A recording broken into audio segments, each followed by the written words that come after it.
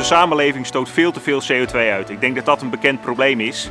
Aan de andere kant, CO2 wordt ook gebruikt. Zoals hier in de kassen in het Westland wordt CO2 gebruikt om planten beter te laten groeien, om chrysanten beter te laten groeien. Oorspronkelijk stookten de tuinders eh, zelfs in de zomer hun kachels om af voldoende CO2 in de vorm van rookgassen te produceren om in hun kas te brengen. Aan de andere kant zijn er natuurlijk plekken waar heel veel CO2 vrijkomt die vrij de lucht in gaat, zoals bijvoorbeeld in de industrie in eh, de Botlek. En wat zou er nu gebeuren als je die CO2 zou kunnen afvangen, oppakt en levert aan de kassen in, uh, in het Westland? Dan help je de kwekers om minder aardgas te stoken. Je hergebruikt de CO2 zodat die tuinders minder aardgas hoeven te stoken en daarmee spaar je het milieu. De grote vraag is, hoe regel je dat? Nou, samen met Vissery Smit Hanap uh, hebben we een slimme oplossing daarvoor gevonden. Een oplossing die eigenlijk al klaar lag sinds de jaren 60. Vissery Smit Hanap was in die tijd op zoek naar innovatieve projecten waar wij toegevoegde waarde konden bieden. We waren al actief bij de tuinders om warmte-transportleidingen aan te brengen. En toen diende het idee zich aan om zuivere CO2 te transporteren naar deze tuinders toe. Die CO2 is hier op Shell Pernis ruimschoots eh, beschikbaar in de raffinaderij. Het moet alleen nog worden afgevangen en worden getransporteerd naar de tuinders toe. En daar hadden we een geweldig idee voor. Er lag namelijk al een pijpleiding voor ons klaar. In de jaren 60 is een olieleiding aangelegd die loopt van Rotterdam naar Amsterdam. Deze leiding heeft gefunctioneerd tot in het midden van de jaren 80, is toen zijn gebruik kwijtgeraakt en heeft al die tijd in de grond gelegen. Deze leiding loopt vanaf de botlek uh, waar de CO2 vrijkomt, precies naar het noorden, naar de tuinbouwgebieden waar de CO2 gevraagd wordt. Ideaal voor ons doel.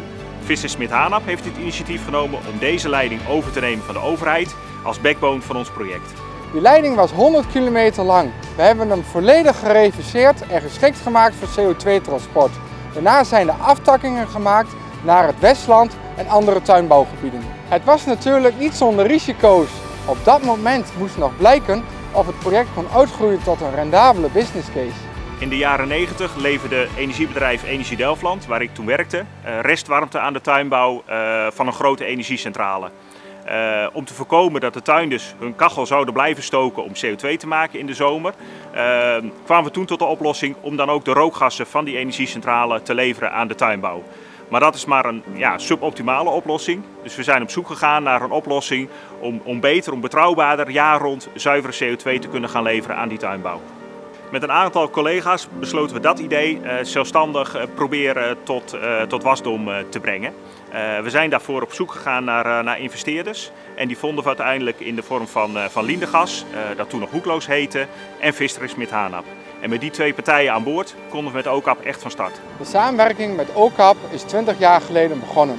Sindsdien hebben we op talloze vrije domeinprojecten een belangrijke rol gespeeld. We vangen nu de CO2 af uh, die vrijkomt bij de raffinaderij van Shell en de bioethanolfabriek van Alco. En die CO2 die leveren we aan 2500 hectare glastuinbouwbedrijven. Die bedrijven besparen op hun aardgas 125 miljoen kub per jaar. En die aardgasreductie is vergelijkbaar met het aardgasverbruik van een stad als Zoetermeer.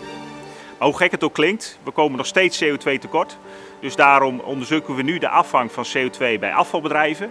Uh, om meer CO2 aan de tuinbouw te kunnen leveren, hun te helpen verder te verduurzamen uh, en te groeien naar een levering van 1 megaton per jaar.